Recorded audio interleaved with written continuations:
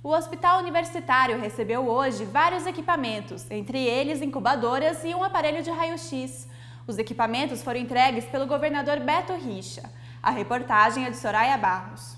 A solenidade de entrega teve a presença do governador Beto Richa, autoridades locais e de servidores do hospital. Então, mais uma satisfação estar aqui para reestruturar, para garantir um atendimento melhor, mais ágil e com mais qualidade no HU de Londrina. Foram entregues oito incubadoras, dez bercinhos fototerápicos, seis estadiômetros e um aparelho de raio-x, todos orçados em cerca de 310 mil reais. Todos esses equipamentos serão utilizados na UTI neonatal, pediátrica e no pronto-socorro pediátrico. O aparelho de raio-x era uma reivindicação antiga do hospital. O equipamento de radiologia que nós usamos agora são da década, do início da década de 80.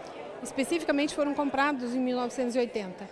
Um deles, já há algum tempo, cerca de um ano e meio, ele não teve mais condição de conserto e reparo por falta de peças, principalmente, tecnologia muito defasada e ele foi inutilizado. Então esse equipamento vem numa hora muito boa porque ele vai nos permitir atender essa comunidade interna com um, uma qualidade melhor, com um padrão de segurança melhor.